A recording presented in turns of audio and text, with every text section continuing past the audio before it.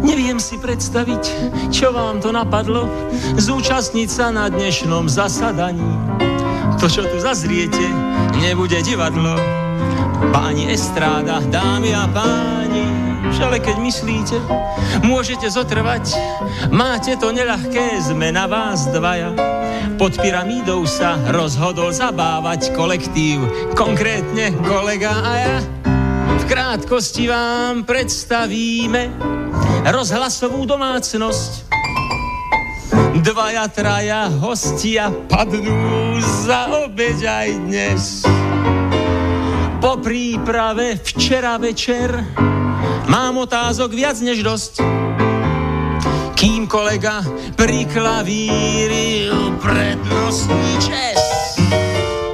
Áno, jazz, alebo tiež inými slovami všelijaké to čarovanie pri klavíri na motívy neznáme i povedomé. Skrátka v dôsledku chronického nedostatku hnotového materiálu, hudobné improvizácie. To je doména tam tohoto človeka pri klavíri registrovaného pod pyramidou pod menom Peter Breiner. Improvizácia slovná, tá už leží na pleciach. No vlastne tiež len jeho, lebo ja sa musím držať napísaného. No a prejavmi ruchovými, kulisovo rámcujúcimi, dokonca chvíľami až solovými sa sem dnes prišlo vyznamenať e, obecenstvo v počte asi tak 140, ak dobre počítam. E, práve sa usadilo, alebo nie, ešte všetci? Tak poďme, vážení, poďme. Raz, dva, tri, štyri. Tak už sa usadte. Treba aj na schody, dobre, dobre. Keď máte ten dojem, že ste tu dobre, nemyslím si, že vás od zlosti rozhodí, aj keď vám nedáme za vlohy modré.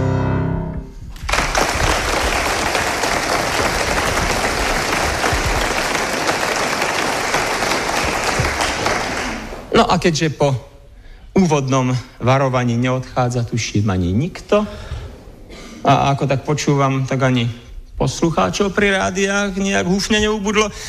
Neostáva nám zrejme nič iné ako pokračovať. No, zase jedna pyramída, čo nemá konca. No tak, e, dobre, dobre, však týka sa to aj mňa, ale zase nemožno hádam až takto povedať, Peter. Však je to ako keby si už pondelok nadával, čo je to za, za nekonečný týždeň, nie? Prečo s tým čakáš do pondelka? Ja začínam už v nedelu. Tak chápete toto? Áno, ako môže jeden pomerne mladý človek takto nazerať na svet? Pracovný týždeň treba začať veselo, nie? Resko, aké tam nadávanie?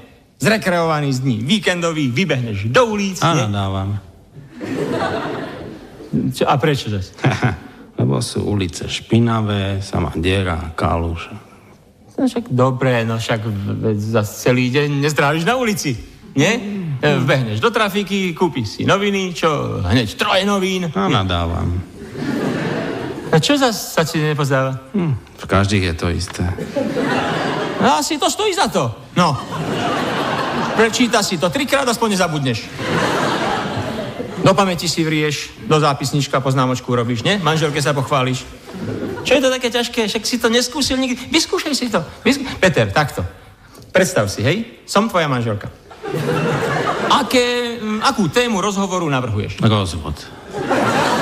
Netreb dve na tri. Počúvaj ma. Ticho. Ak sa ti nepozdávam ako manželka, uvedom si, že to sa len tak hráme, to je ako, akože. Chápeš? Nemusíš ma zbožňovať, nemusíš mať hneď so mnou deti. Prichádzaš domov z práce, čítaš mi myšlienočky do zápisnička, ktoré si si na školení vypisoval z dennej tlače. Poďme, nech sa ti páči. No, dobre. No poďme. Ahoj, žena. Pýtaj. Mám v zápisničku jednu myšlienočku, dokonca dve, a neviem, čo s nimi. No, nože ich prečítaj, drahý.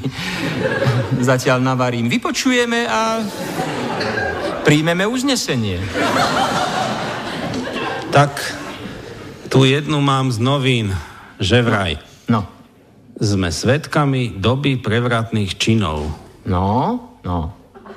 No. no, pekné, pekné. No nie, však sme svetkami doby. No a čo, čo máš za pochybnosť? Ja, či by sme teda nemali byť radšej priamými účastníkmi, než svetkami. No,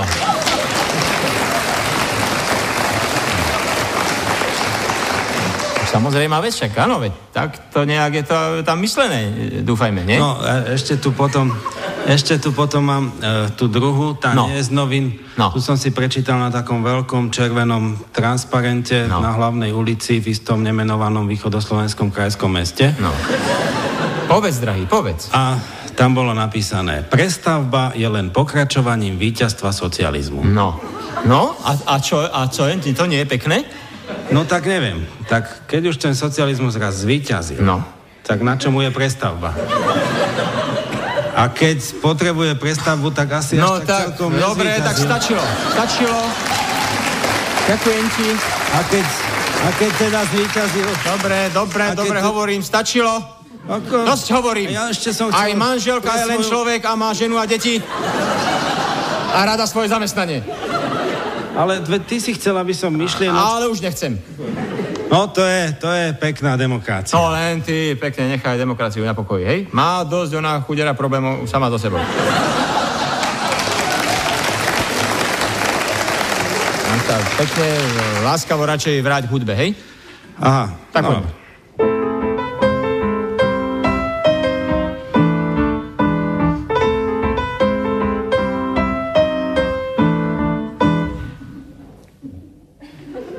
To je všetko? No jasné. Samozrejme. Ak sa ti máli, väčšiu porciu si vypýtaj od dnešného hostia z oblasti hudby. Nekrič, viem, však to tu mám, nie? Konečne máš aj ty show, rozumný návrh. Show, show. Show, no. Show. show. To je, to je ani, ani pre show toto. Vážení poslucháči, prvý dnešný host pod pyramídou je nielen z oblasti hudby, ako tu môj kolega už trefne náhodou vystihol, ale aj z oblasti zemepisne vzdialenej viac ako obvykle. Aj keď pravda zase nie až z takej vzdialenej, ako by sa mohlo zdať podľa jeho mena, Karel Černoch osobne.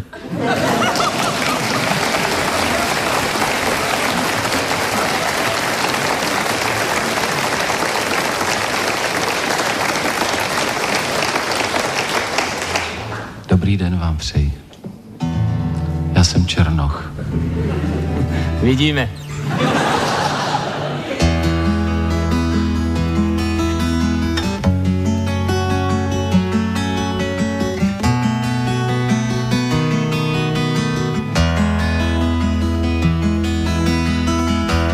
Já býval divnej kluk a přátel měl jen pár.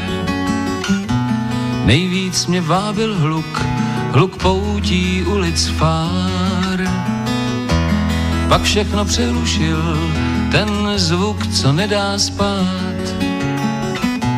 Já začal první píseň hrát. Jabloň ví, kdy má kvést, vítr zná směr svých cest. Říční proud v modrých mořích hledá cíl. Jabloň ví, kdy má zrát a já dál musím hrát. Jenom tak má snad smysl, abych žil.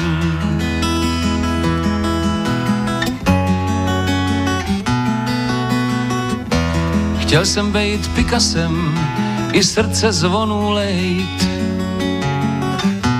Tím, čím snad dneska jsem, já vůbec nechtěl bejt. Ví zařídil pár strun, že v rukou mám. A teď tu sedím tváří k vám. Jabloň ví, kdy má kvést, vítr zná směr svých cest. Říční prout v modrých mořích hledá cíl. Jabloň ví, kdy má zrát, a já dál musím hrát. Jenom tak má smysl, abych žil.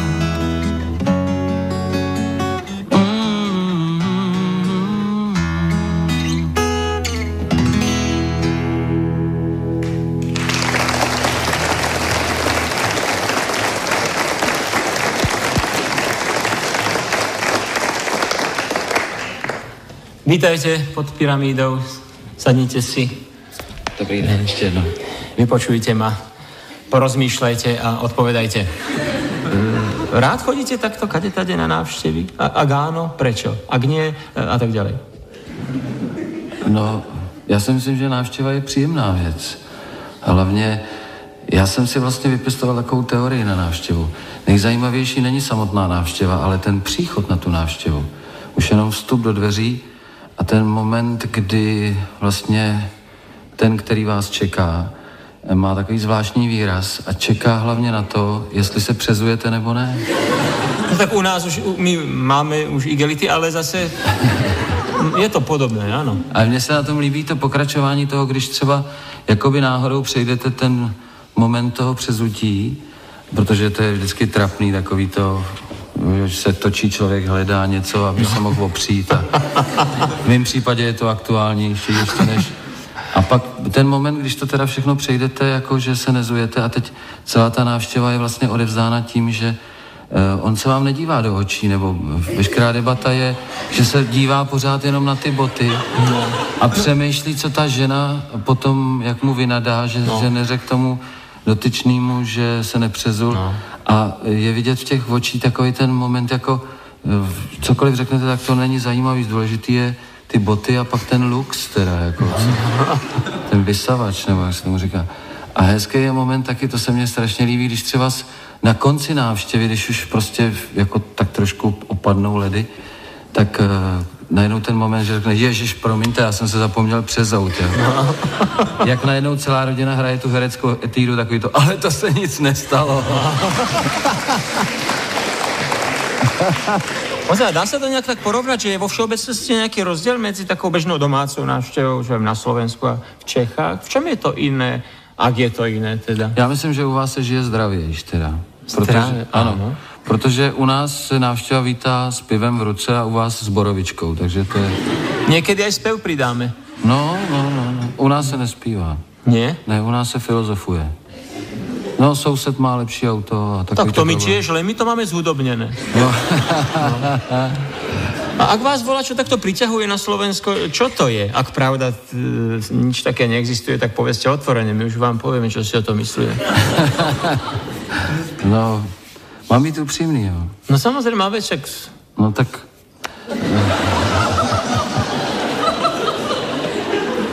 tak do určitých let to byly ženy, teda. Aha. Ty kamarádky nějak zmizely a Zůstali mi jenom kamarádi. A mě by zaujímal teda v Čechách ještě kamarádky máš. A to bych nekomentoval. Můžete, to, to, to se v Prahe nechytá toto. Ale... V Praze se toho chytí, to byste, to byste nevěřili. Ale...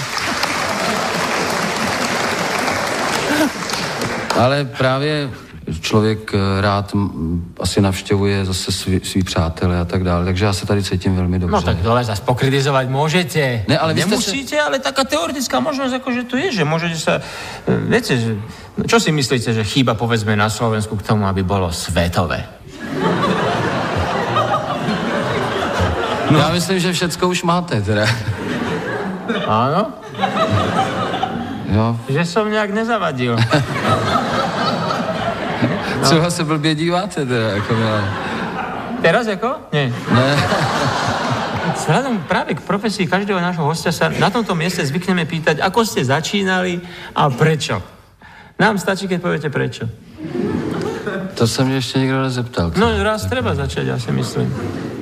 No tak já jsem začínal, ej, to je složitý, ale začínal jsem e, jako Černoch, No tak to, to je, myslím, ne. že tak děvčenské jméno jako i teraz. Ne, ne, ne, ale e, já jsem vždycky přemýšlel, proč Černoch a co, co by nás spojilo Černochy. Ano. Nebo jak říkáte u vás Černosy. Ano. A, Černochou. Černochou. Ano. A Černochovcou. Tak. No, no. ale nás spojí, vždycky se, když se třeba uvádí černošský zpěvák, tak řek, zpravidla říká někdo o něm, že se narodil tam dole u Mississippi, rovnou vedle železniční tratě kde hrál na svoji kytaru, aby dostalo to blues. Tak já jsem se narodil na Smíchově, byla tam Vltava a byla tam taky železniční trať. To je jediné, co mě pojí. Všecko ostatní už no nemá tak, s blues nic společného. Teda. Tak ta Vltava nie je zas, tá Mississippi úplně, no zas, no. a vy nejste úplně tak černok zas. No, no, no je to všechno relativní. Tak. No, jsem černo, no nejsem no. vlastně. To člověk neví. Víte, víte, co je nejhorší, že mě docela vadí, když třeba s, e, jako jdu po ulici a minu někoho a někdo řekne třeba hele Černoch, jo. A neřekne to Karel, to mě jako hrozně uráží. Já ty Černochy docela chápu, jo. A, a teď si představte, že, že třeba je minul, teď se mě, to se mě stalo na pěší zóně, jsem minul dva mladíky a ten jeden povídá tomu druhému, hele, vole Černoch. A ten druhý říká, kde vole? A ten první říká, ten před tebou vole, ten šedivej, no. To už mě teda opravdu dokáže naštvat. To je Karel Černoch, jedna z mála obetí rasovej diskriminácie. Ano, ano, ano. Ne, ne, ne. Ano. Drobná ukážočka apartheidičku. Malý, ale nás. Áno. To by som povedal. Klin sa vraj klinom vybíja, neviem, či aj u vás sa tak vraví. Čím vy vybíjate únavu z koncertného turneja, z hodín nepretržitých mm, na pódiu? Zase len tým cestovaním a zase len spevom, ak to platí? No tak zpěv povznáší samozřejmě. Jak kdy teda. Hlavně, když si člověk může zaspívat tu svojí, ale faktem je, že někdy to já zpívám třeba hrozně rád e, takový ty oddychové písničky, při kterých není potřeba nějak tančit nebo mm. na něco si hrát nebo e, vymýšlet nějaký show k tomu. A nebo vůbec takový ty písničky, které vzniknou, že si třeba sednou čtyři lidi a jenom si tak drnkají a najednou někdo řekne, hele, tadyhle jsem něco vymyslel. Jo, taková jako, když to ne, nejhorší jsou ty písničky, co člověk má naučený, a vždycky musí zaspívat tu stejnou. Jo. To mě vůbec napadá, že to je bezvadná teorie, když si vezmete, že třeba z každýho z nás čeká, e, to si ale neuvědomuje na začátku, že bude celý život zpívat třeba pět písniček, které budou vlastně takovou jeho vizitkou, jako třeba Nadia Urbánková má Závidím, Václav Neckář třeba tu kytáru jsem koupil kvůli tobě, Karel jich má víc, těch písní je slavnější, ale faktem je, že třeba s, uh, já mám Ona se brání, jo, písničku. A teď, když vidím svý mladší kolegy, třeba Dalibora Jandu, jo, tak si říkám, chlapče, která asi ta písnička, kterou budeš chvílema nenávidět, která to bude. Když si představte ten moment, jak, jak zpívá třeba z Bratislavy tady v tom domě ROH, bude mu 55 let. Bude sedět na kraji pódy a bude mít červenou kombinézu, bílý kecky. A teď spustí, kde jsi? A hlavou mu půjde, jestli mu přivezli písek na chalupu nebo nepřivezli. A to další, kde si už zapomene. Hele. Ja si myslím, že to sa, tomu sa dá, rozumiete, zamedziť. Raz, jak to zaspieva, by mal niekto povedať, tu som. No. no ja, ja by som fakt nerád o neprítomných. Radšej teda predstavte vy nám tú svoju um, obľúbenú, ktorá vás za každým rýchlo postaví na nohy. No treba tú, ktorú sa zvedaví, či nezabudnete. A ja použiju teda Petra k tomu, jo. Použi- a... Robte si s ním, čo chcete. A vo mne nenávidí, Ale ni- má tu, on je tu najatá sila, je váš. Tak poď, seš môj, no. Tak ta písnička se jmenuje Déšť.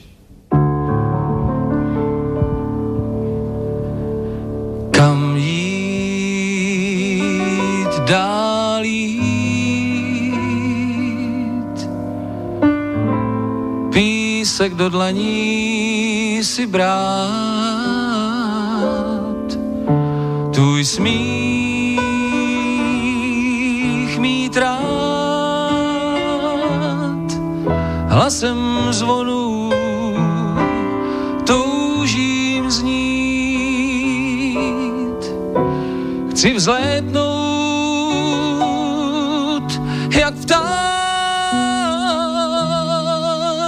sám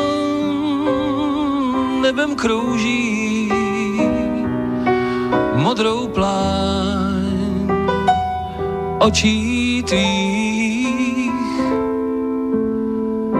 Tak důvěrnou a známou, jak dřív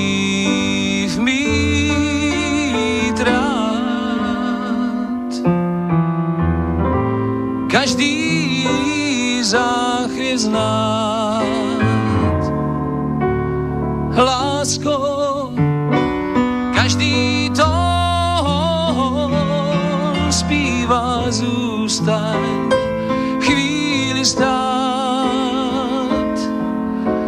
A říkej, a říkej, že máš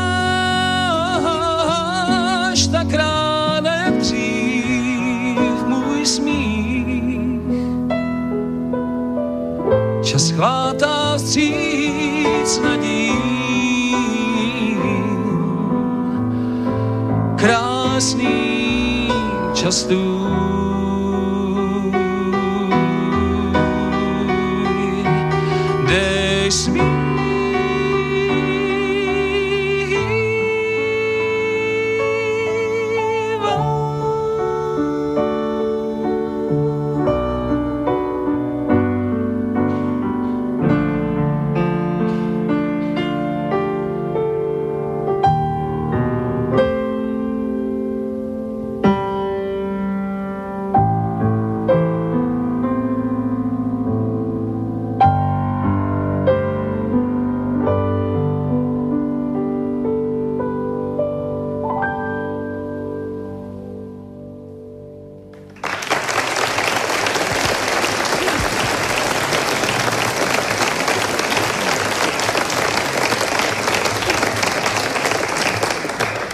sa máme vrátiť k tej pesničkám a mali by sme sa, často si asi mm, ani neuvedomujeme, ani nemôžeme asi uvedomiť, že ako sa zrodí tá alebo iná pesnička. Či naozaj sa aj stalo to, čo sa v nej spieva, akú má históriu a podobne. Máte aj vy takú nejakú tajnosť, ktorú teraz okamžite prezradíte?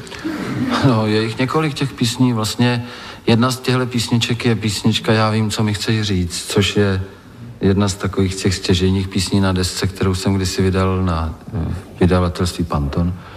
A ta vlastně vznikla tak, že jeden můj přítel, který píše scénáře, ale nepíše texty, mě půjčil knihu, která se mi hrozně líbila. S okolností ta kniha se jmenovala Medojetky, velmi zajímavá kniha a e, tam byl na, mezi posledními listy byl složen arch papíru a na tom byla báseň. A když jsem to četl, tak jsem si říkal, to je strašně zajímavý. A samozřejmě mě došlo, že to určitě zapomněl, že to někde psal. Jak jsem se ho ptal, jak to vlastně, ty píšeš taky básně, on říkal, ne, ne, ne, to jsme měli problém s manželkou, víš, takový jako dost závažný, já byl asi týden pryč a nezvěstný a, a tak abych jako si to trošku jako vylepšil, jak jsem jí napsal tuhle báseň. Já jsem říkal, a nechtěl bys to udělat jako písničku? On říkal, no to nejde, a teď se styděl, jak to bývá.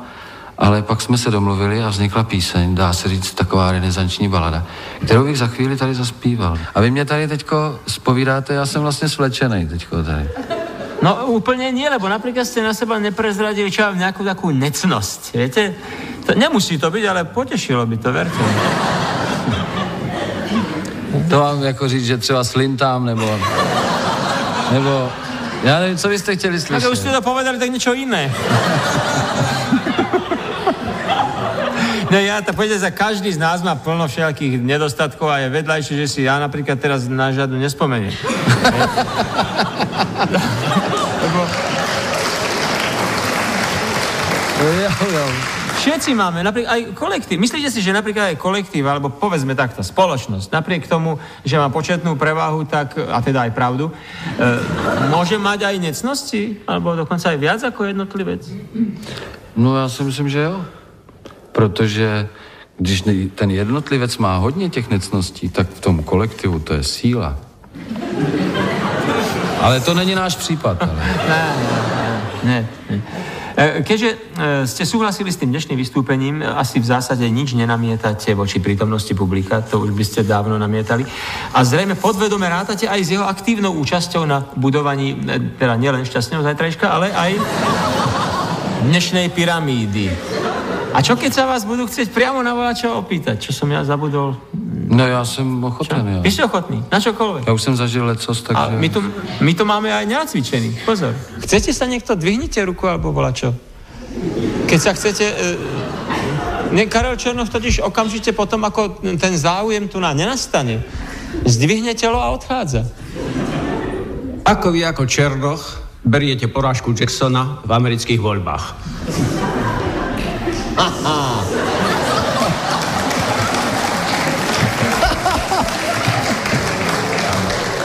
To je všem bezvadná otázka. No, ešte... Môžete mať na prípravu 10 minút, keď chcete. Ne, to, já jsem... Podívejte se, já vám to vysvětlím takhle. Nejlepší je si to nechat vysvětlit v televizních novinách a pak tomu zaujmout správný stanovisko.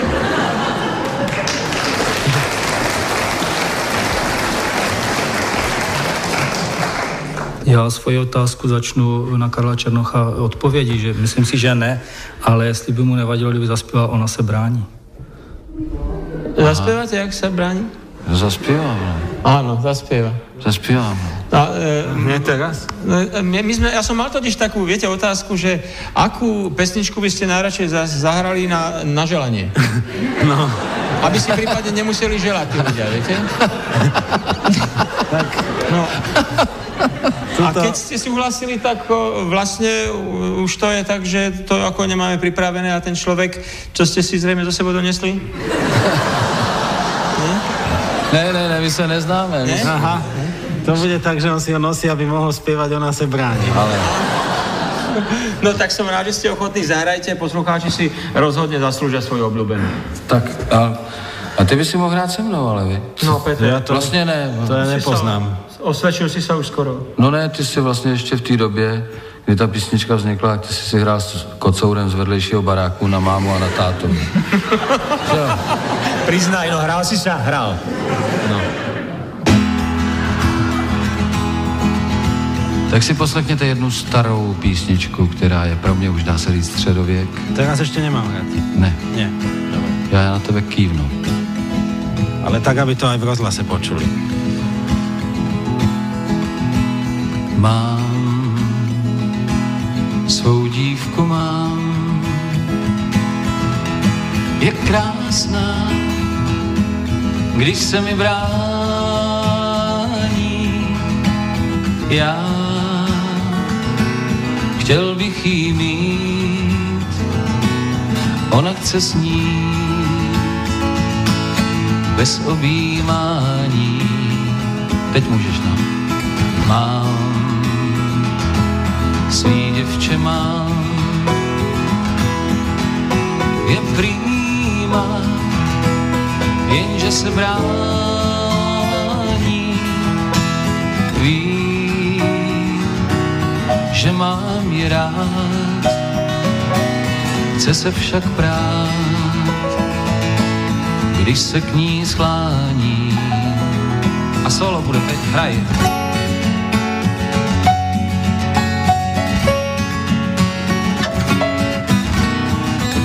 Ďalej to nemám už napísané. Ještě jednou, já ti to předspívám, jo? Dávej pozor. Hele, takhle je to. La, da, da, da, da. La, da, da, da, da. Da, da, da, dej. A tak já to zkusím. Zkus to, ano. Ještě ne, teď. A.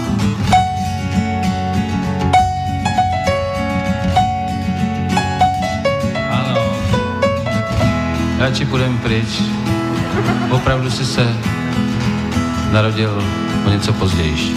Znám, tvý ústa znám, teda ne tvoje, jo. Jsou prýma, i když se vrání, jen nevím, zda znáš, na co je máš. Jsou nalívání, tak mi je dej a ty mi je dáváš.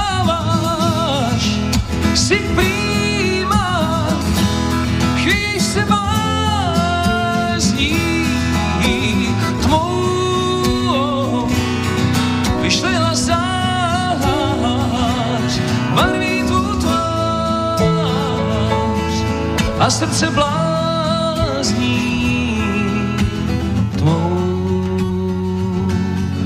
Odchází sen,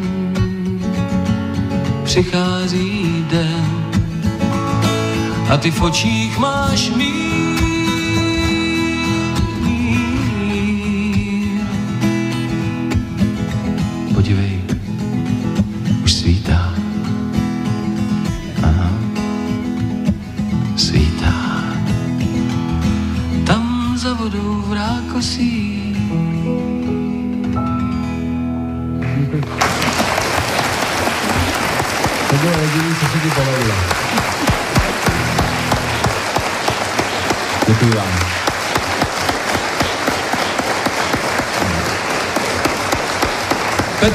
Mě doprovázel.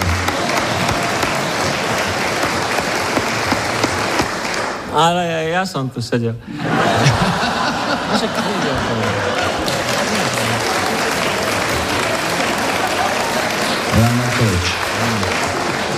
Trošku aj Karol Černo hral. A je tu prestávka, vážení poslucháči. Nevšak pre vás maličko oddychnúť si môže len Karol Černoch, lebo si uvedomuje zodpovednosť a náročnosť úloh, s ktorými sa tu dnes stadočne vyrovnáva. A ešte vyrovnávať bude, napriek tomu, že už e, e dospel, ešte dospieva. Do, dospieva ešte minimálne tri pesničky, s ktorými nás odprevadí až po e, záver relácie. To mi však nebráni, aby som už teraz poďakoval za prítomnosť a za rozhovor. Ďakujem.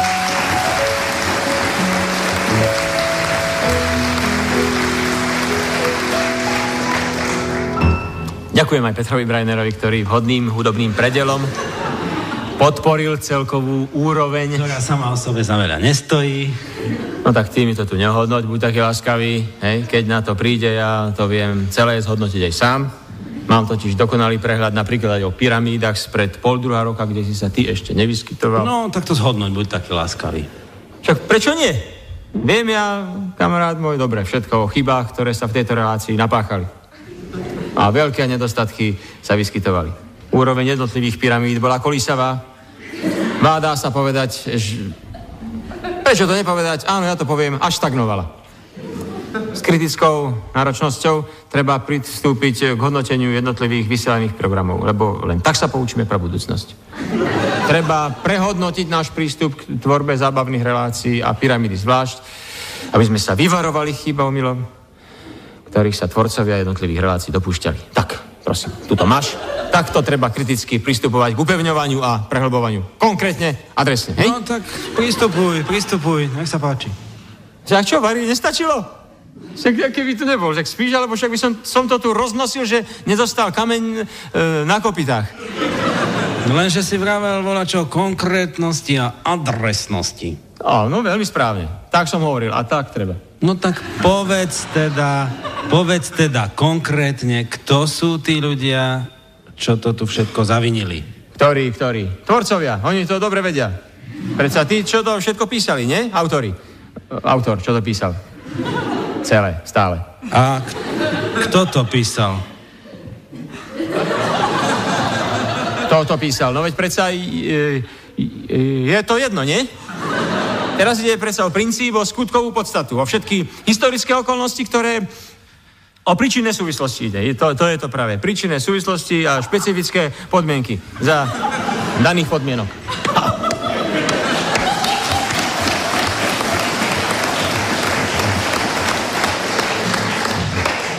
Ďakujem, ďakujem za prejav no, súhlasu. Nemáš za čo.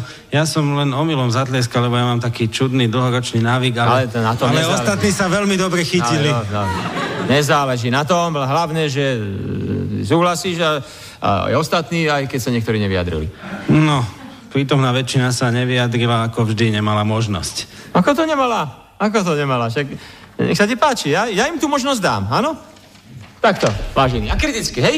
Otvorene, konkrétne treba tá, tomu sa ja nevyhýbam. To vy dobre viete a vidíte. Aha, prosím, tu som. Hej? Dobrý deň. Tak, čo? Ako?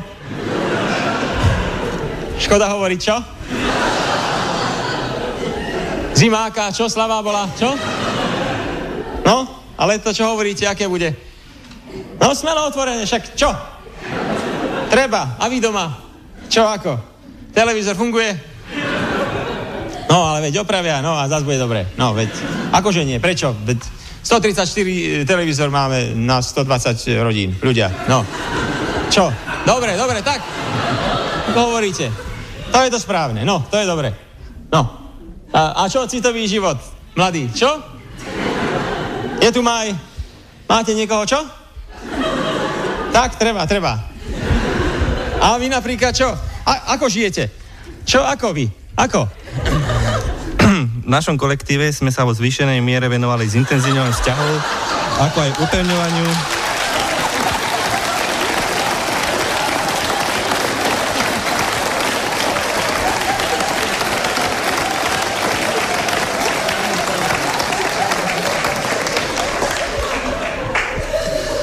Ako, ako aj k upevňovaniu a prehlbovaniu súčinnosti a dôslednému a systematickému pôsobeniu na svojom pracovisku, ako aj doma.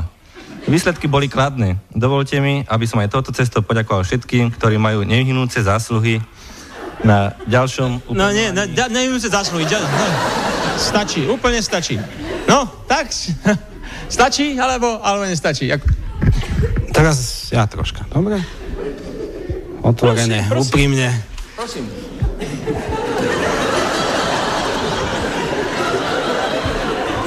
Ja mám svoj vlastný papier. Nie, ale ja by som, ten mladý Nie. človek mi to už vrátil, tak môžeš teraz ty použiť tento, čo sa... Nie, nie, nie, ďakujem. Ja, ja mám svoj vlastný papier.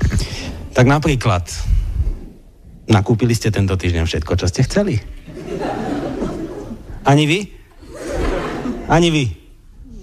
Dobre, to by sme mali. Ako sa vám dýcha v Bratislave?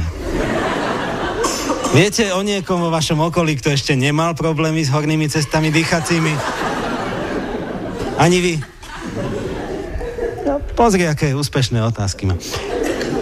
Je snáď medzi vami niekto, kto hneď po absolvovaní vysokej školy nenašiel primerané kvalifikované uplatnenie v praxi?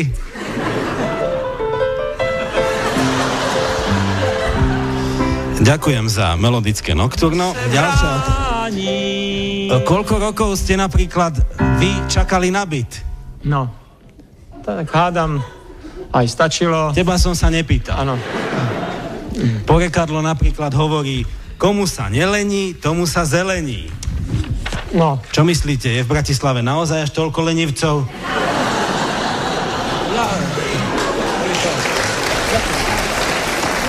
Nie, čo, čo, ne, ne, neber Neber mi to, veď post... Nie, ďakujem ti, to už stačilo, však aj do, dobré otázky máš, ale vidíš, nikto nič, nikto nič, nemáš pripravenú odpoveď, nemáš nič.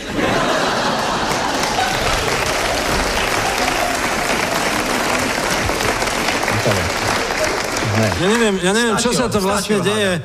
Takéto niečo ti nevyhovuje? Čo, čo by nie? Kto, a kto povedal, že nie? Ty. Ale, ale je to uh, tendenčné. To je to pravé slovo. Je to tendenčné a neobjektívne. Pozeráš sa na veci len z jednej strany, z jedného zorného toho. Veď som len jeden. No však. Ľuďom, ľuďom treba dať šancu, aby odpovedali radi a bez zábran. A, e, aspoň tí vybratí teda. No.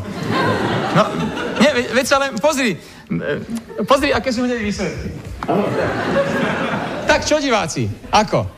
Stále v pracovnom pomere. No, to je to správne. Tak. A myslíte si, že sa dá aj lepšie, výkonnejšie? No veď mali by sme, mali, nie? No, veď dá sa veľa, všetko sa dá. Aj najsmešie sny môžeme uskutočniť. Tak veru, ľudia. No, berme si príklad zo zahraničia. Predvediem názorne. Máme tu scénku Ištvána Örkéňa, súčasného maďarského satirika. Aj on hneď v nadpise hovorí, aj najsmelšie sny môžeme uskutočniť. Ilonka, poďme nasadať.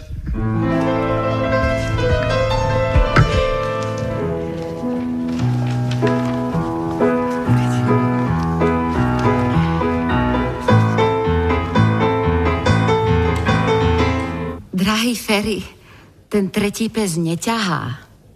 No bohužiaľ, mám trochu krátky bič, no. Zdá sa mi, že dokonca krýva. Musí krývať, keď má len tri nohy. no. Je, naozaj. E, a nie je vám ľúto zapriahnuto ubohé zviera? Pozrite sa, lepšie, Ilonka. Všetkých 12 psov má iba tri nohy. Chudáci. No to skôr polidujte mňa, Ilonka. Viete, čo mi to dalo roboty? Zohnať 12 trojnohých psov. Tak ja tomu asi nerozumiem, ale človek by si pomyslel, že normálny pes ťahá lepšie a vytrvalejšie. No, to, to nepopieram, lenže normálny pes, normálny pes. Ja som rodený meský človek, pozrite sa. Čo by som si ja počal s 12 štvornohými psami? Je, Ferry, vy sa ich bojíte? No, no, bojíte, bojíte. Tak áno, tak sa bojím, no. A čo?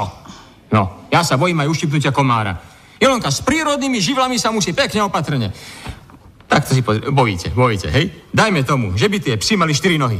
Ha! A niečo ich vyplaší? Vytrhnú mi úzdu z ruky a... Ha! Radšej na to nemyslieť, Ilonka. No, aj tak tomu nerozumiem. Bojte. Keď sa tých psov bojíte, hm. prečo ich zapriahate do auta? Neviem dobre šoférovať, no. No tak sa to môžete naučiť lepšie. No, lepšie, Ilonka. Auto a človek nie sú a nikdy nebudú rovnocení partnery. Nepískajte mi tu. Len sa poobzerajte dookola. Neuvidíte jediné auto, ktoré by ťahali psi? A to je škoda. Veľká škoda. Hej. Človek sa bohužiaľ nevie vyrovnať s technikou, Ilonka používajú, ale v skutočnosti má z nej strach. Ja sa aut nebojím. Aha, nie? Lenže pozor. Táto Volga, tá by mohla frčať pokojne aj takou 150 km rýchlosťou. Ferry, netrápte ma. Ja zbožňujem rýchlu jazdu. Ja, toto je čo? Čo? Čo, pozrite sa, Ilonka. Pred desiatimi dňami sme vyrazili z Pešti. Aha, už sme kde? Šiofok. No s dvanáctimi psami to nie je až taký veľký výkon.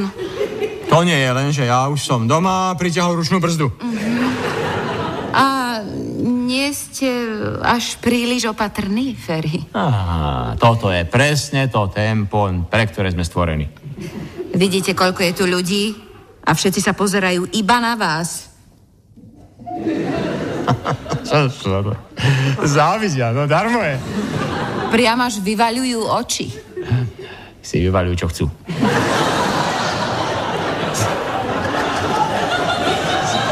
Prečo sa čudujete? Pretože vidia, že aj najsmelšie sny je možné uskutočniť.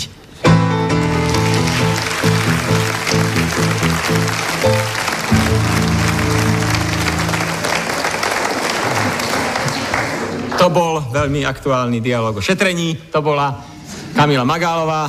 To bola vec, čo? No a to, čo nasleduje, to bude niečo, čo... To bude naopak. To bude opäť Karel Černoch. Já bych teď vlastně po takovémhle dialogu zaspíval písničku, která, kterou vlastně jsem tady už uvedl.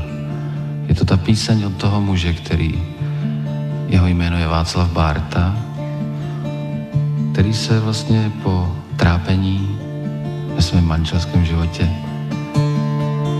představil takovým zajímavým textem nebo básní.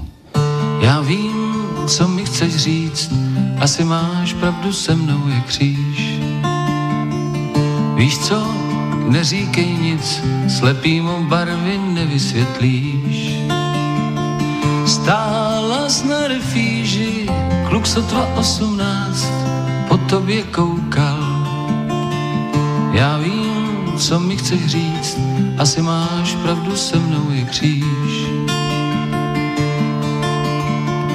Já vím, co mi chceš říct, máš se mnou svoje zkušenosti. Víš co, neříkej nic, chlap mývá jistý věci prostý. Ráno, když si spala, měl jsem chuť jako dřív u tebe zůstat. Já vím, co mi chceš říct, asi máš pravdu se mnou je kříž. Já vím, co mi chceš říct, že mě znáš jako žádná jiná. Víš co, neříkej nic, pomlčme o tom, čí je vina Zírám jako ten kluk, vlasy máš jako len a nohy tak krásný. Já vím, co mi chceš říct, asi máš pravdu se mnou je kříž. Já vím, co mi chceš říct, ty víš svý, no a to ti stačí. Víš co, neříkej nic, život sám leco zaonačí. Málo někdy stačí a jeden pochopí, jaký byl blázen. Já vím, co mi chceš říct, že mám čas od začátku začít.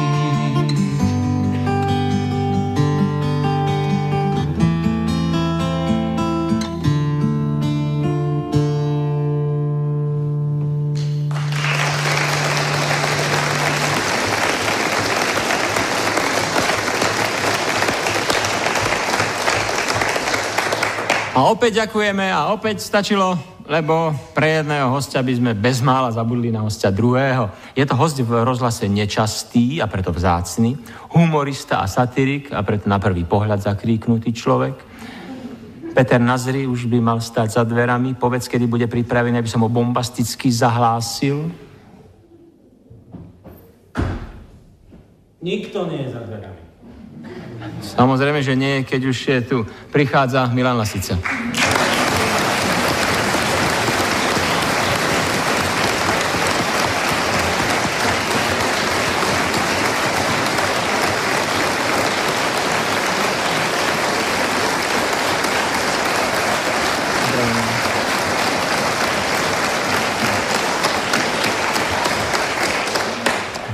Dobrý deň, srdečne vás vítam pod pyramídou. Ja vám len tie otázky trošku takto posuniem, lebo ja tu mám tie odpovede, čo ste mi dali.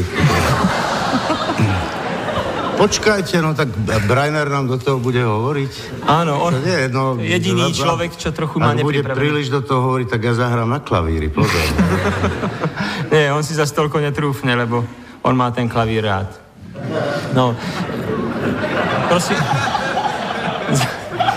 Prosím vás tak, aby nám naozaj tie otázky z odpovede štimovali. Áno. Raz sme mali podobné a jedna odpoveď zvýšila. No hrozné.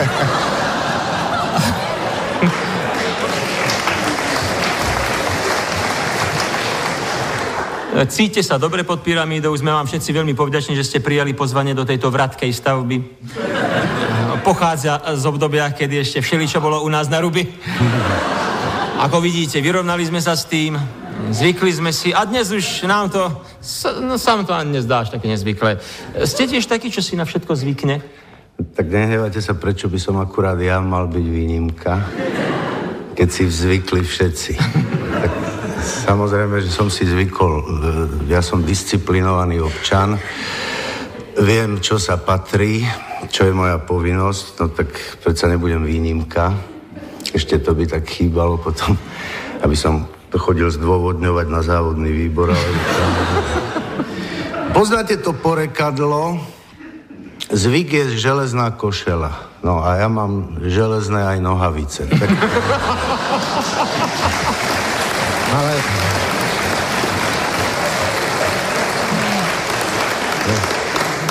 Ale teda e, na jedno si nikdy nezvyknem a e, teraz to poviem aj s rizikom, ktoré z toho vyplýva Nikdy si nezvyknem na dukátové buchtičky.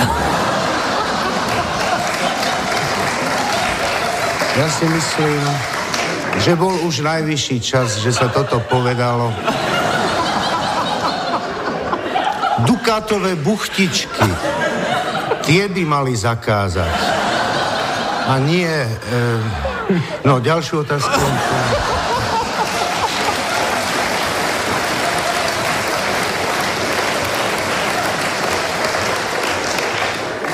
Ako sa tak na vás pozerám, pripadáte mi taký akýsi 50-percentný, napriek tým nohaviciam. Veď to viete, plných 30 rokov už si bez mála ruka v ruke vykračujete po boku Juliusa Satinského. Len tak pre seba si hovorím, však nestačilo už? No Nenastal tak, čas osamostatniť sa? Alebo... Tak to si prosím vás hovorte naozaj len pre seba.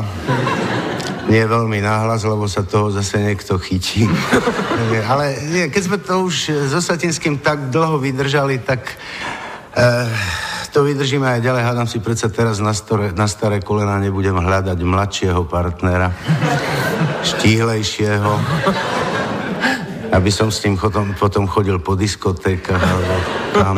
Nie, nie, ja už to s ním... Julko, počuješ ma? Neu, neupúšťaj ma, prosím ťa.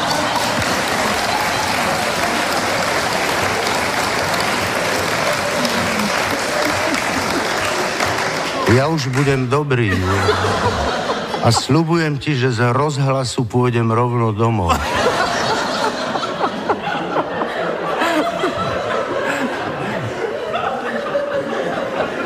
Hovoríte, ako keby ste poznali nebodaj nejakú inú dvojicu, ktorá si už robí záľusk na vaše popredné miesto v slovenskom a nie len javiskovom humore. No tak pozrite sa.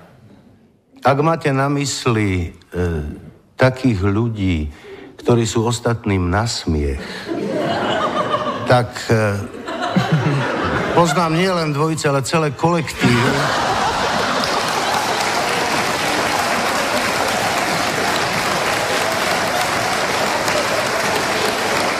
ktoré sa, ktoré sa ús, úspešne derú dopredu.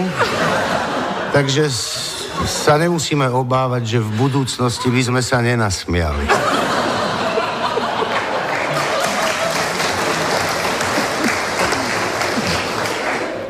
Máte vo svojej tvorbe aj sem tam prestávky? Ak áno, aký majú zmysel?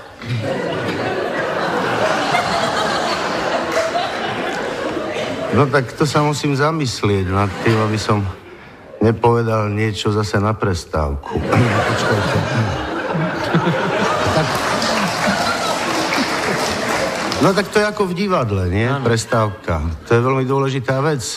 V divadle počas prestávky si obecenstvo od nás odpočinie, ide do bufetu, tam sa občerství.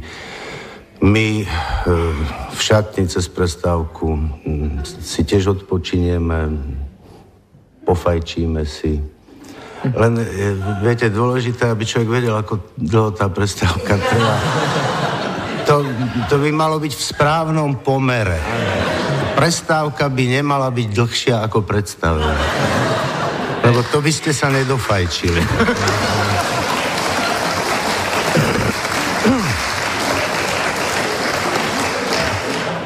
Napriek tomu, že vás dnes už poznajú vari aj, čo viem, hádam aj vo Vajnoroch. No, tam sme ešte neboli. No, tak preto som sa aj zamyslel, či nefiknem vysoko. Môže sa... Môže sa napriek tomu stať, že niekde ešte prekvapíte svojim humorom publikum natoľko, že vám nerozumejú, neberú vás a volajú po starom, zdravom humoristickom jadre? No, tak eh, pokiaľ, pokiaľ ide o publikum, tak eh, publikum nám vždy rozumelo, to musím povedať takto. Vždy, vždy aj mm, keď sme začínali, nám bolo publikum mm, už v tých začiatkoch veľmi naklonené dokonca aj cez tie prestávky nám zachoval svoju priazeň, na to sa nedá zabudnúť. Na, napokon bez tej priazne publika by sme asi ťažko mohli tak dlho vydržať robiť to, čo robíme. Ale ak nám niekedy niekto nerozumel, no tak e, to boli vždy jednotlivci. No. Chcel som, už, už, už som chcel povedať nezodpovední jednotlivci, ale boli to práve často tí zodpovední.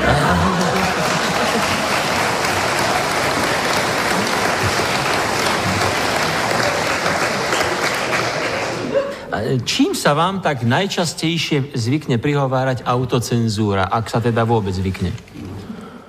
No tak, pokiaľ ide o autocenzúru, tak myslíte doma? No. No my máme doma všetky tieto prístroje, telefón, autocenzúru, všetko. Autocenzúra to vás dokonca vyjde veľmi lacno. Skoro zadarmo. No. Zase keď ju nemáte, tak vás to vyjde draho. No ale... No. Brainer sa už zlakol, no to nevadí. Však sme to... Ale ja by som na to odpovedal, pokiaľ ide o tú autocenzúru, tak samozrejme, že by sa jej bolo treba zbaviť. Ja na to odpoviem jedným vtipom, ktorý som čítal v Rohači a ktorý sa mi veľmi páči.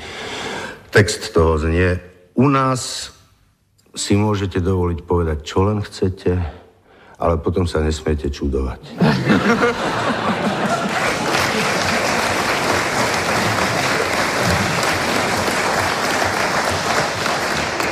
Vašou domácou úlohou bolo pripraviť si pre nás voľačo z toho, čo ste si už dávnejšie Á. pripravili inde. Môžete predložiť k posúdeniu? No tak to je ten rozhovor o pálčivých otázkach. Aha, to tu mám, to tu nie. A máte to? Je to rozhovor o palčivých otázkach prérie, bez povier a ilúzií. No, je to, no ani nie pre pamätníkov, to si už asi nikto nebude pamätať. My sme to napísali asi pred 25 rokmi, vyšlo to v tej knižke Nečakanie na Gotota. Tak by som mm, bol rád, keby ste mi teraz pomohli, keď tu Julo nie je, že by ste si vybrali jedného z tých dvoch, tak chcete mňa alebo jeho? Ja vášho. Ja radšej, ja by som to, viete, ja neviem, jak to ja pochopím možno úplne po svojom, možno aj ináč. A viete, môj názor totiž na koubojov e, a vôbec, ak ste to tam, a banditov, no však hovorte, ja vám no poviem. dobre, no tak to skúsme. O takomto čase blížia sa skupinky koubojov na koňoch k mohutnej rieke, ktorú nebudem menovať, aby sa pokochali svorne pohľadom na zapadajúce slnko, ktoré nebudem menovať. Ak, ak dovolíte, No. e, s koubojmi to nie je také jednoduché, ako sa na prvý Ja pohľad tak vy už hráte, som si myslel, že chcete mi niečo povedať. Nie, dobre, nech sa páči. Ja, ja som len za to, aby sme No, sa prosím. pozreli e, Áno. konečne na problematiku divého západu bez povier a ilúzií. Pardon, e, že sa blížia, to by bolo v poriadku, hej? Ale že sa idú kochať namiesto toho, aby pátrali po banditoch, viete, tak v tom je čosi nezdravé, nemyslíte? No, ja si myslím, pardon, že v poslednom čase si kovboji zvykli nestrkať do ničoho nos. No je im, je im dokonca jedno, či zastrelia jedného, alebo šiestich banditov, alebo... Prečo? Pretože svoj plat dostanú tak či tak. Nie, nemyslím. Myslím si, že je to otázka vzťahu jednotlivca k strelbe. Tento vzťah sa oproti minulosti v mnohom zmenil. Kedy si išiel kouboj po prérii, uvidel banditu, vyťahol kolt a strieľal. Dnes je situácia zložitejšia. Kouboj rozmýšľa. Mám strieľať? Nemám strieľať? Mám vôbec náboje? A ak aj mám, trafím? Netrafím? A ak aj trafím, koho trafím? Je to vôbec bandita? A ak je, má náboje?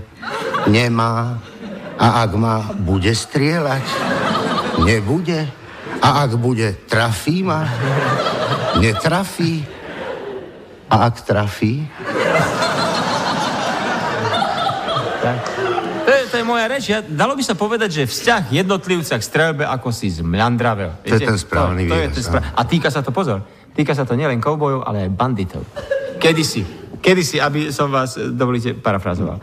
Išiel bandita po prérii, uvidel kouboja, začal utekať, čo mu nohy stačili. Hej? No nie? A dnes bandita rozmýšľa. Mám utekať, čo mi nohy stačia?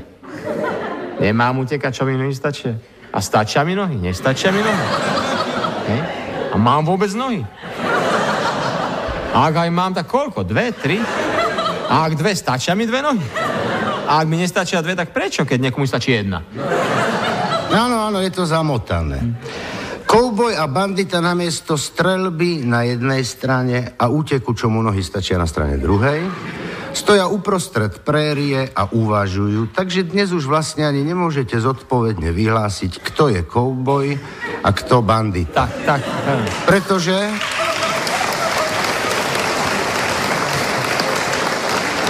Pretože z vlastnej iniciatívy nikto do nikoho nestrel, nestrieľa a nikto pred nikým neuteká. Ehm, Ale ak dovolíte, na vec sa predsa len e, nemožno dívať iba z tohto, e, ako sa to vraví, úzkeho aspektu. Ašpekt sa aj Až, aspekt. Do, dôležité je úzky, teda. Že, viete, strelba ako taká totiž nič nevyrieši, s dovolením. E, strelba môže mať na jednej strane svoj kladný spoločenský dosah, no na druhej strane sa nesprávnym poňatím môže zvrhnúť v puch bez strelku. A o to nám nejde. E, ide nám o čo? Ide o to, na koho a prečo sa strieľa. No prirodzene, často sa totiž vie, na koho sa strieľa, ale nevie sa prečo. A naopak inokedy sa vie, prečo sa strieľa, ale nevie sa na koho. Lenže tieto problémy sa vyriešia iba presnou a účinnou streľbou v družnom koubojskom kolektíve. Všetci na jedného, jeden na všetkých. Áno. Pretože iba v poriadnej prestrelke sa ukáže, kto má kam namierené. Viete? Ak v každej prestrelke zahynie len jeden človek navyše, za celý kvartál to bude činiť 85 ľudí. A to je už pekný kolektív, na ktorom možno stavať. Na ktorom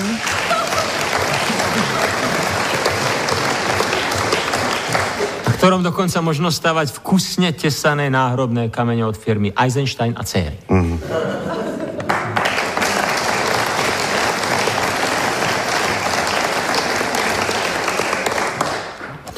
E, Peter, ty by si to mal odsadiť nejak tak vhodne, toto celé. Však si oca, no. Ale ja si myslím tak uh, hudob, hudobno manuálne. No to by chcelo takú prérínu, nevieš préríny motív? Ja viem. No, vidíš to? Asi zase druhý. Almost heaven, West Virginia, Blue Ridge Mountain, Shenandoah River. Life is so there, older than the trees, younger than a mountain, growing like a breeze. Country roads take me home I belong, West Virginia, mountain mama, take me home, country road. All my memories get around her, minus lady, stranger to blue water. Dark and dusty, painting on the sky. Taste of misty moonshine, teardrop in my eyes. Country roads, take me home to the place I belong. West Virginia, mountain mama, take me home. Country roads. I hear a voice in the morning, how she calls me. The radio reminds me of my home far away. And driving down the road, I get I should have been home. In yesterday, yesterday, country roads take me home to the place I belong, West Virginia mama take me home country roads country roads. Take me home to the place I belong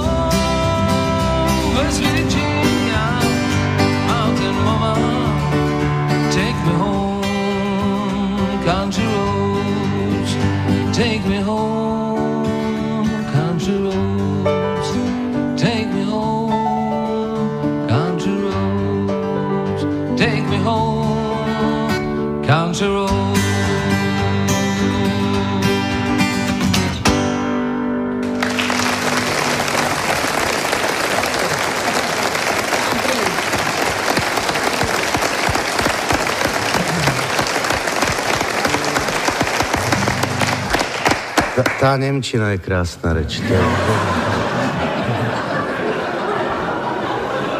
Ťahá to človeka, ťahá. E, zaimprovizoval si samozrejme Peter Breiner a treba povedať, že boli chvíle, keď sa darili. Tie improvizácie. Ešte k Milanovi Lasicovi, pretože chvála Bohu neodchádza a to, čo počul ho, neodplašilo. Asi preto, že som sa nejak nepridal.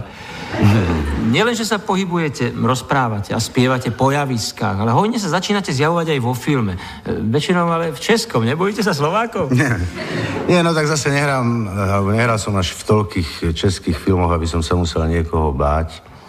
Ale fakt je, že viac hrám v českých filmoch ako v slovenských. No, nechcem sa pravda, že stiažovať teraz, že by som nejak sa stiažoval, že ma e, neobsadzujú do slovenských filmov. To nie, to sa nestiažujem. To sa dokonca niekedy môže považovať aj za šťastie.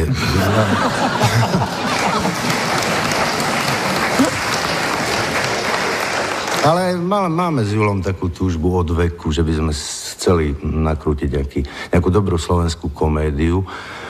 Ale nikdy sme sa o to neusilovali až na toľko, aby sa to uskutočnilo. Učinkovali ste v Bratislave, Brne i Prahe, keď to takto ohraničíme. Kde podľa vás je, ak chceme byť adresní, viete, lebo ja som taký, kde podľa vás je divák najmenej vychovaný? A ako sa to prejavuje? No nie, tak to, tak, toto nemyslíte Čo? vážne, pán doktor. Ale áno. Toto nemôžete myslieť vážne, ja predsa nebudem tu na ohovárať našich živiteľov. Každý divák je vychovaný, každý divák je dobrý Hlavne, keď si kúpi lístky, ale aj tí bez lístka sú fajn. No a samozrejme stane sa, že sa občas vyskytne tzv. neukáznený divák. Mali sme taký prípad nedávno v štúdiu S, hrali sme výrobcu šťastia, tak sa tam objavil a sadol si rovno dopredu, taký si sadajú vždy rovno do prvej rady. Tým sa nechcem nikoho dotknúť. Tu na... Objavil sa tam taký muž v stredných rokoch plný elánu, energie, chutiť do života, skrátka v podnapitom stave. A v takomto stave, no vy to asi nepoznáte, ako je to v takomto stave, ale v takomto stave má v takomto stave má človek e, strašnú chuť e, komunikovať. Zapojiť sa do diania. Po, podebatovať si. Byť využitý. No, tak aj tento dotyčný sa zapájal do tých našich dialogov. Najprv nás to trošku tak prekvapilo, potom sme si zvykli, potom sme sa už len smiali. Nádherne tam, nádherne sa zapájal, vykrikoval Podarené. niečo povedal. Podarené. Zase sme chvíľu hovorili, hovorí, ale ste im dali. Potom zase o chvíľu povedal, Ježiš Mária, však vás zavrú. No a tak ďalej, a tak ďalej. A asi štvrť hodiny pred koncom máme tam taký dialog s Julom, že ja sa pýtam Jula, človeče, kam sa to rútiš? A ten muž vstal a povedal, na autobus a zmizol.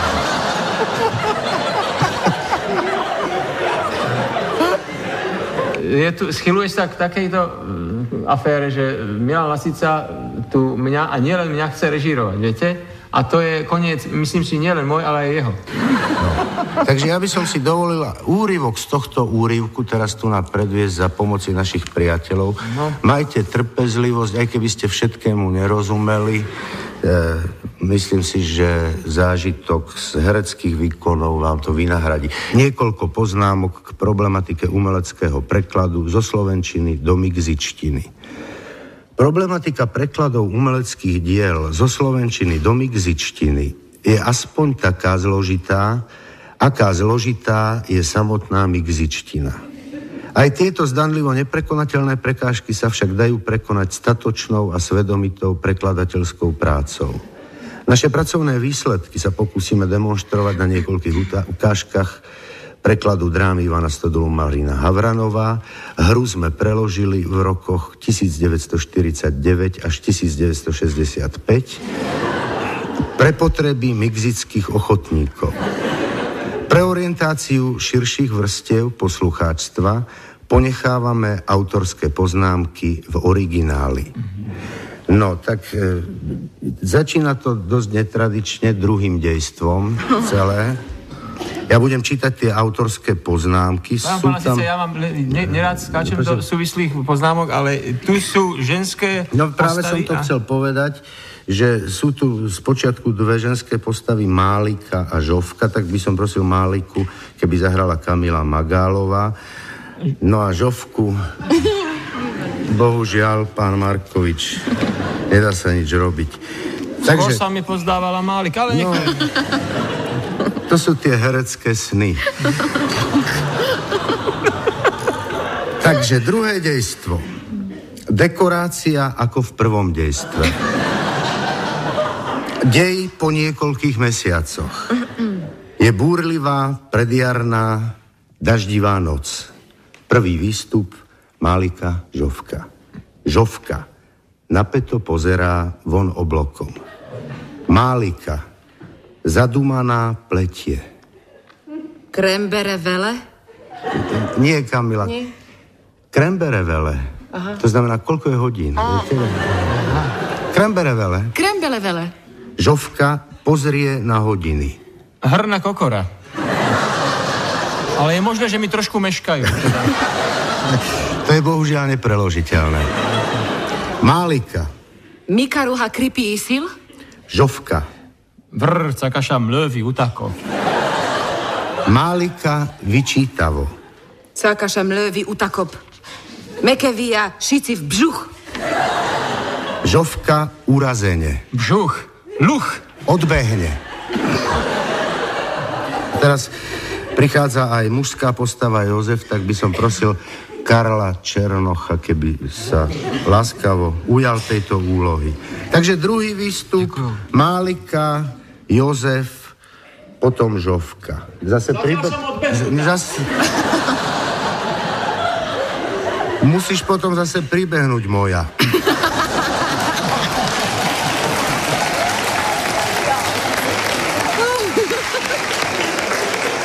Málika Jozef, potom Žovka. žovka. Prudký dážď bije na obloky. Málika. Utána Romkorot, utána Krol. Jozef vstúpi premoknutý. Žaruha sépi nihiv. No nie, ale tak s týmto českým akcentom sa to nedá. Žaruha sépi nihiv. Nihiv, nie nihiv. Nihiv. Ešte raz. Žaruha sépi nihiv. No, vidíš, že to ide. Málika napnutie. Mikaruha lolo šekiner? Husakoso, husakoso, ha? Čika? Jozef. Mlövi utakop. Rozhorlí sa. Nuky, trapalanuky, ratrapalanuky. Ja ešte raz by som prosil, ale rozhor, rozhorčenejšie. Nuky, Mlévy utakop. Rozhorlí sa. Nuky, trapalanuky, retrapalanuky. No, ratrapala, nie retrapala. Retrapala nuky v mixične znamená také svinstvo, že to ani nemôžem preložiť. Málika, Kusivara Marina Cakaša Vele? Jozef rezolutne. Hrčina grcár. Hupila šegín, kev. No Ja- tak, Teď e, nevím, jestli kev nie, nebo kev. Kev. Ja som chcel len upozorniť na rozdiel od to, tak, to slovo grcár, na rozdiel od archaického tvaru grcáľ. Sme použili hovorový tvar grcár, ktorý lepšie vystihuje význam stodolovho textu. Ešte Takže ešte raz. Jozef, rezolutne. Hrčina grcár. Hupila šegín, kev. Mein Gott. Hovorí Málika. Opona Šakura.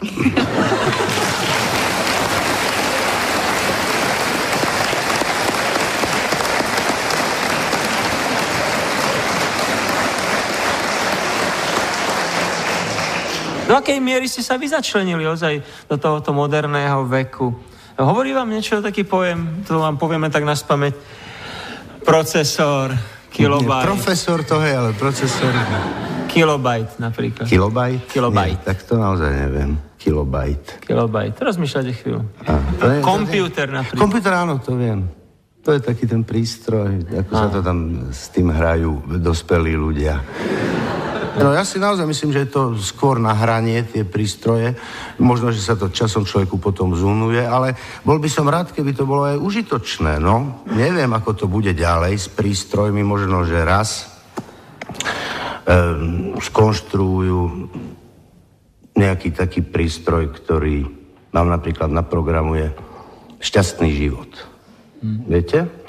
Život bez problémov, bez konfliktov, bez starosti. Taký prístroj, ktorý za vás všetko vyrieši, o všetkom rozhodne a vám dá iba pokyn, vlastne príkaz, čo máte robiť, aby ste boli šťastní, spokojní a čo si máte myslieť, aby ste boli úspešní a čo máte hovoriť, aby ste boli nezávadní a ako máte jednať, aby ste boli v norme. No, e, takýto prístroj našťastie zatiaľ ešte neexistuje, ale za to existuje dosť ľudí, ktorí si myslia, že by ho mohli nahradiť. A na tých si treba dať sakramenský pozor. Na tých si treba dať sakramenský pozor. Najlepšie by bolo okamžite ich vypnúť.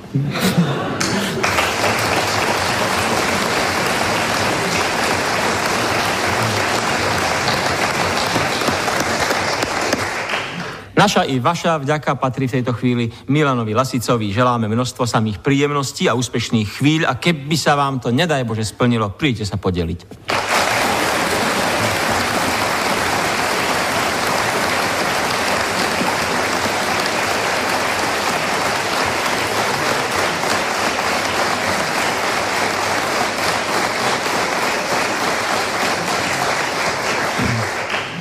A s poslednou dnešnou časťou svojho kumštu sa s nami prichádza podeliť Karel Černoch. Prezradíte vopred, čo chce básnik povedať? Protože vím, že vy strašně rád máte jednu písničku, kterou zpívám já a ještě jeden malý zpěvák, Filip Brabec, ale ten tady není. Tak mě napadlo, že, by, že bychom mohli udělat takovou píseň všichni dohromady. Venku se tomu říká ale zusammen, nebo nebo Everybody. Prostě, že bychom si vzájemně pomohli. Vy byste zpívali to, co zpíval Filip Brabec a já bych zpíval to, co zpívám já. Jestli byste s tím souhlasili. Já vás to naučím, je to velmi jednoduchá melodie, ale chce to zpívat takovým tklivým hlasem, jako to zpíval ten malý Filip. Já vám to jenom tak připodobním a vy už se pak chytnete sami, jo? Chtěl bych být víc než přítel Dej si říct na chvíli stůj, kamarád mi schází čím dál víc, víc než táta dá se říct. No to je výborný. A teď kdybyste se potom nebáli, jakmile na vás mávnu nebo vám nějakým způsobem pohybem svého těla dám najevo, že, že je teď řada na vás, tak kdybyste toho využili. Ono to bude nádherně, bude to v podstatě takový takový československý Are The World, jo? tak jsme připraveni, jedeme, pojď. Raz, dva, tři. A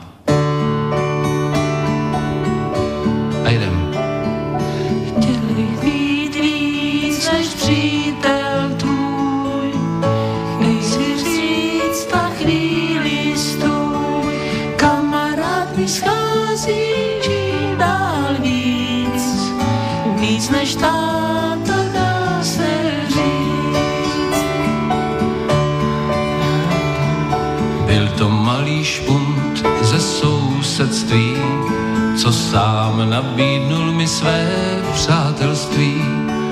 Pro kuráž si nejspíš víc kráčel a tak mi řek, co říct mi chtěl.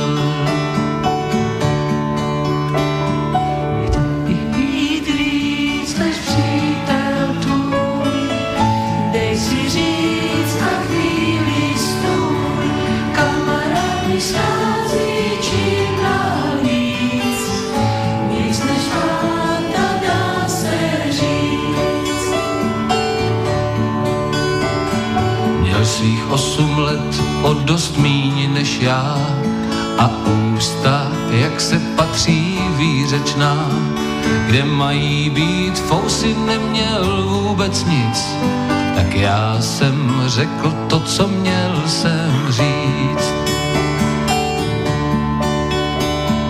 Koukej, koukej, já jsem chlap, o moc dřív mě přines čáp, znal jsem už jako kluk a byl jsem jí tenkrát, myslím, fuk. Chvíli stál a pak si utřel nos a jako by v ten moment povyrost, teprv pak jsem pochopil, bohužel, co všechno vlastně říct, co říct mi chtěl.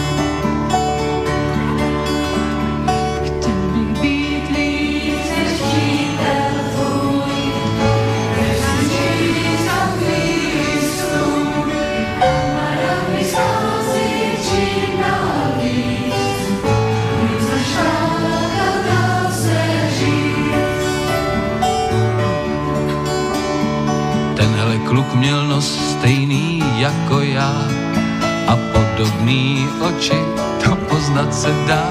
Tak jsem šel zpátky svojí dlouhou pamětí.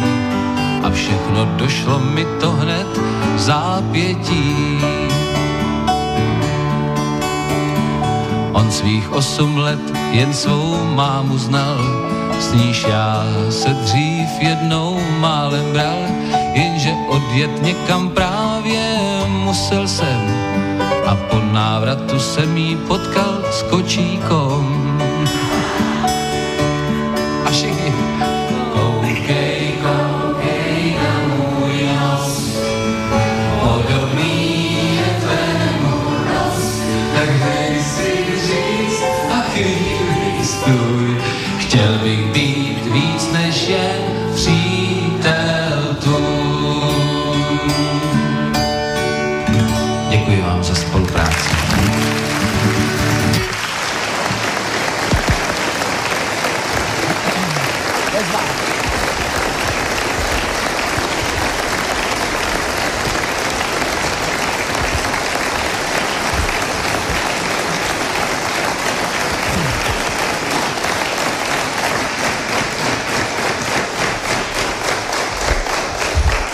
Karel Čelnoch at his boys. And his boys, teda my dvaja. Tým sme, vážení poslucháči, vyčerpali hosti, vás i program a ideme sa s vami rozlúčiť. Samozrejme, že nie nadlho. 4 týždne vypršia od dnešnej pyramídy presne 11. júna a to je deň, keď v žiadnom prípade nesmiete chýbať pri rozhlasových príjimačoch. V opačnom prípade totiž vysielame bez vás a je to bez opravného termínu. Dúfam, že som vás vystrašil, e, ako už dávno nie, a že pri rádiu, či tu v štúdiu naozaj nebudete chýbať. Príďte, uvidíte, prežiť sa to dá. Jo, pardon, toto som už mal spievať. 3, 4. No tak to vidíte, že ste to prežili. Dosť bolo muziky, dosť bolo slova. Príďte aj o mesiac, privedte posily. My dvaja určite prídeme znova.